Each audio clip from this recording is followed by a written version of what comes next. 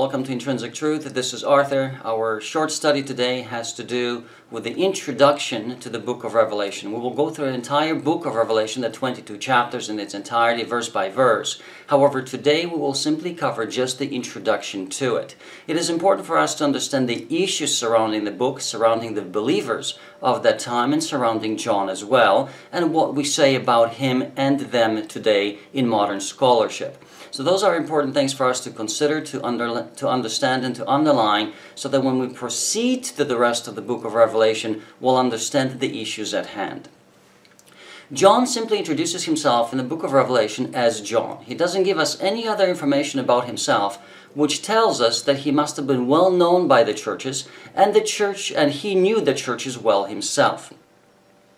He writes to the seven churches in Asia, which is important for us to understand, church like Ephesus, for instance. So it's important for us to understand what he wrote to the Ephesians or what the Ephesians were like. We have a letter to the Ephesians so we can understand this.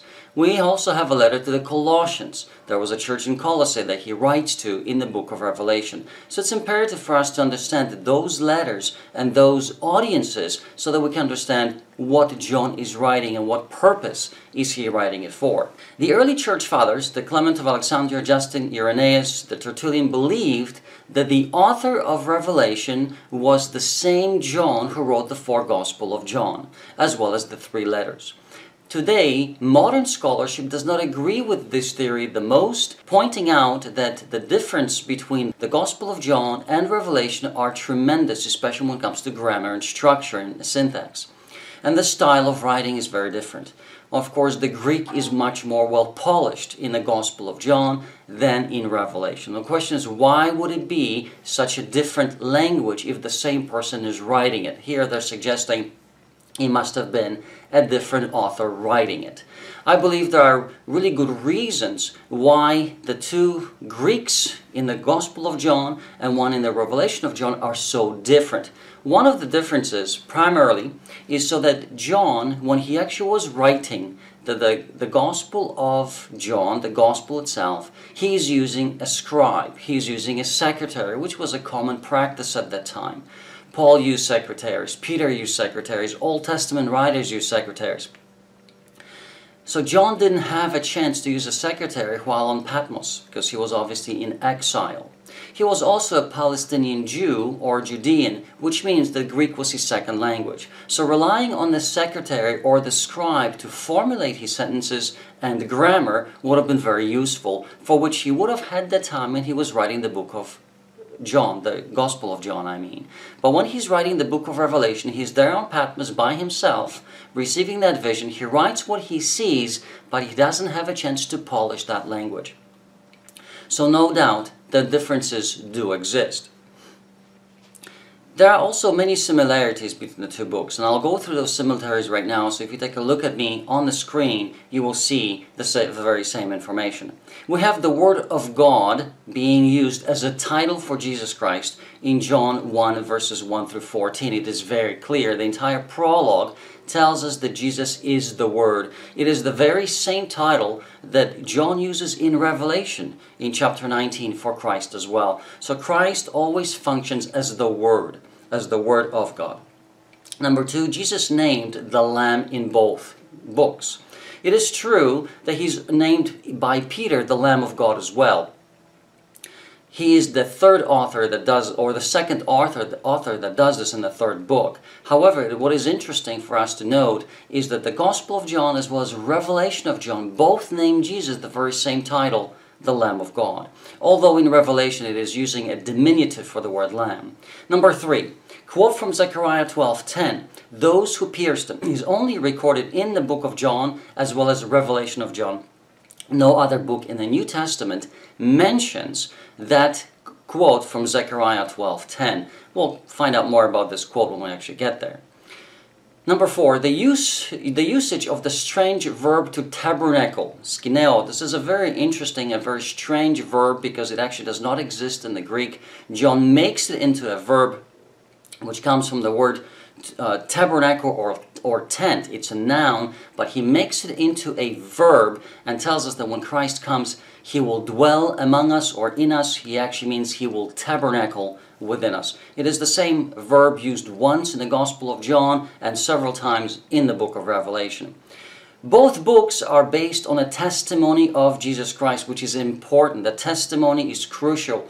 And both are based on this. You have the references there on the screen, which tells us the similarity in both books described about who Christ is. In fact, Revelation is really nothing else but the gospel of Jesus Christ. However, there's a slight difference between the Gospel of John and Revelation of John. The Gospel of John tells us about the first coming of Jesus Christ. Revelation, the second Gospel, so to speak, tells us about the second coming of Jesus Christ. John writes two Gospels, one about his first coming, the second about his second coming. That is really the difference in those two books because it is a revelation of Jesus Christ. And we'll find out what that means in more detail. The one who thirsts is quite underlined in the Gospel of John as well as in Revelation. In the Synoptic Gospels, when people come to Christ, they hunger. In the Gospel of John as well as Revelation, they come because they thirst. So the emphasis is placed on a water and human relationship, not hunger and a human relationship. Number seven, the father and son relationship is heavily underlined in the Gospel of John as well as Revelation. Both books stress this idea greatly, and that's because of the work of Christ and his reliance upon his Father. The word thunder, bronte, which occurs nine times in the book of Revelation, occurs in the Gospel of John as well. When it thundered, people thought that God spoke. The only other author that actually uses the word to thunder or thunder is Mark when he says that these are the sons of thunder, once again referring to John himself. So it is interesting that John is the only author in the New Testament that uses this as a verb and says, when it thundered, God spoke. And he does this both in the book of John as well as Revelation. And then lastly, the invitation to come and see, which is underlined in John as well as Revelation several times. It is important that the language remains the same, even though the grammar is different, the style is different, spelling is different, ideas and theology are the same, and even the verbiage remains the same because John is the same author of these two books. The date of writing of the book of Revelation is somewhere between 81 to 96 according to scholars today. I believe that it's somewhere around mid 80s. when it comes to the 19 uh, then when it comes to the 90s already, we would most likely have the Gospel of John written probably around 95 96 AD. So the the revelation of John somewhere 85 I would say. According to tradition, John lived in Ephesus before his exile to Patmos. Thus, he must have been friends with the churches and maybe even their pastor. This is a quite possible situation, especially when he writes a letter to them and he wants to strengthen them in their faith. They are both going through persecution, and he says that he's a fellow, the one who's being persecuted with them. They are fellowships in this struggle together, and so he writes to them to strengthen them so that they will believe in God. But why would he do this? Now, yes, he does this because they are being persecuted the churches are being persecuted. John is being persecuted on Patmos, but he also adds this, I believe, because of the struggles, internal and external, for the church at that time. The external problems was the participation in local pagan festivals, which we'll discuss a little bit later as well. What it simply meant is that there was a worship to foreign gods that was determined as necessary by the society. And if you did not take part in this, you would be chastised. People would not be buying from your store, for instance, or would not see you well on the streets, and they would want to say comments and things of that sort. So some church members felt that it was important for them to take part in it. This is why we have this struggle with meat offered to idols. Is it okay for us to eat it or is it not? Is it okay to eat the meat and not take part in the festivals? Or shall we go to the festivals and so that we are simply present so people simply do not speak about us later on? Or do we even participate in some of the activities that they would have done? Those are issues that they would really have to consider the persecution by the Judeans as well as persecution by the Romans. So these two issues were very, very great in the time of John, in the time of the New Testament churches, because these two groups persecuted the Christians heavily. And so we need to remember this and take this into account as the book of Revelation does. The internal problems, the first one is very similar, in fact identical to the first one in the external problems, which is participation in local pagan festivals. And here's a question of morality primarily. How far can we take part in those festivals? Can we really go to those temples and take part in the certain activities that they would have done? Well, if we do, we would have to then act immorally, and that's because of the worship to Asherah or Diana or Artemis. So those issues were very difficult for the church to solve, and so when John writes he is not writing just to strengthen them in a time of persecution. He is also strengthening them in the faith in Jesus Christ so they will reject any human activity and focus on God Himself. Then the food offered to idols, which you have sort of mentioned at first. There were a lot of food being offered to idols and then sold in markets. The question is, could Christians buy that meat? This is why Paul writes, don't even question. What gives, who gives you what? You simply eat it. If you are okay with it. If not, then don't do it. John answers that question as well for the Christians of his era. Immoral behavior accepted as norm. Now, this is very important that we've touched on this when it comes to the pagan festivals.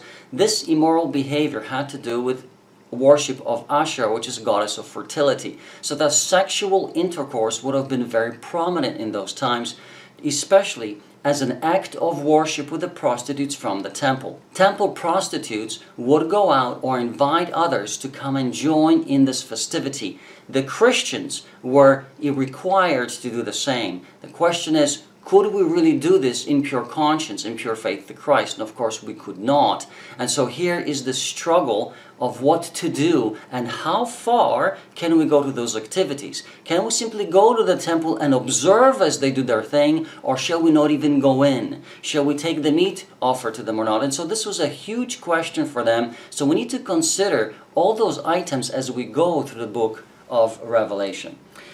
Going forward to the uh, chiastic structure and the build of the book of Revelation, the entire book is built on a chiastic structure. This is one proposed, so I'll give that as a proposition. First we have the prologue, then we have the epilogue and A primus respectively. Then we have the promise to the overcomer. Then B primus, we have the fulfillment of the promise to the overcomer. We can see how the layers do work. We have salvific work of God in C, and in C primus we have the finished salvific work of God. So we have the beginning, we have the end, we have the fulfillment in the beginning.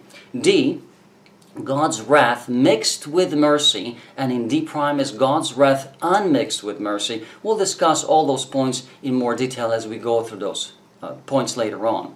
John must prophesy again. It is told so to him in John chapter 10 and in E Primus, the church proclaims the gospel at the end of time. We have the reflection of the preaching of the gospel, first by John and then by the church. And in F, the very central point, the central theme of the entire book of Revelation is the conflict between Christ and Satan as it plays out through the centuries. And the book of Revelation simply tells us how this conflict is working out in the lives of the believers, in the lives of the church at present, which is symbolically stated as the seven churches of Revelation. We have a very similar parallelism between the prologue and the epilogue. The prologue and the parallelism, we'll just read the parallel words. Show his servants occurs in both. What must happen soon occurs in both. Jesus sends his angels. Blessed is he who holds the words of this prophecy. The time is near. Then we have the seven churches and of course Christ. One more title, the Alpha and Omega, and the beginning and the end. There are four major schools of thought that we approach prophecies with. So I'll describe them very briefly today. The first I want us to consider is futurism, which was discovered or developed by Francisco Ribera, who was a scholar, and Robert Bellarmine, which was a cardinal. Both were Jesuit priests in uh, hired by the Pope as a counter Reformation answer. So the reformers, if you remember, were saying that the Roman Catholic Church is the beast of Revelation 13. He is the little horn of, of Daniel 7 and 8, as well as 11. And so they were pointing onto the Pope saying, This is the Antichrist. This is the great power that's working against. So here the Pope had a dilemma. Now they had to develop a different strategy, not just simply burn uh, unbelievers, so to speak, at the stake, those who disagrees with them. They had to somehow confuse the masses, and so they've developed a theory called futurism, which most of the world, most of the Christian world today accepts. And this is why we look at what will happen in Israel, because futurism looks at fulfillment of prophecies only in relation to the physical and biological Israel. Futurism also developed this theory, which is called the gap theory or the church age, so that the prophet only sees to just a few years after Jesus Christ, and then he does not see anything else that happens for the rest of the 2,000 years, but just the seven years before Christ's second coming, which would then be Revelation 6 to the very end, or some even believe Revelation 4 to the very end. So the first three chapters of Revelation would have been fulfilled in 100 AD or by 100 AD. The rest will be fulfilled just before Christ's second coming. Either way you look at it, the Roman Catholic Church cannot be identified as the beast or the Antichrist of Revelation. Preterism does something very similar, developed by Luis de Alcazar which simply means that all the prophecies of Daniel and Revelation have been fulfilled by 100 AD. There's no more prophecies to look at. We just simply forget it. The third one is called idealism. This is a very modern or more modern uh, approach to prophecies, which simply states that there is no historical relation of whatsoever and that all of those symbols are just an expression of God's love in a poetic format. So what we have is just God's love message to Christianity, but really nothing to do with prophecies and what will happen in the near future. Historicism, on the other hand, is a very systematic approach to prophecies telling us that everything we read in prophecy will have to be somehow marked in physical history. And this is what we look for. This is why when Daniel writes about the kingdoms, he tells us even what they are. So we in turn can now interpret all of those symbols and place them in historical moments, in historical time frames, and we follow linear history from the time of the prophet until the second coming of Jesus. This is what historicism is, and historicism approaches prophecies from that perspective, and it tells us where we are in history, and it tells us how God is leading His people through His love. I am not rejecting that God is presenting His love in prophecies. No doubt he is. But the approach to prophecy is not idealism. That's the, not the point of prophecy. The point of prophecy is to tell us what will happen and how God will protect his people. That's the point of prophecy. If we only focus on the protection of God or the love of God, we have forgotten the theological aspect and the historical aspect of prophecies that we must consider. With this, I would like to end today as the introduction for the book of Revelation. I invite you for our future studies on the book of Revelation. We'll go through the book of Revelation verse by verse and underline every detail, what we can and what we even cannot fully understand in that book. It is a marvelous book filled with God's love, no doubt, but yet filled with many wonderful blessings that if we read, we will be able to receive that blessing. Thank you again for your attention. This is Arthur for Intrinsic Truth. Have a great day.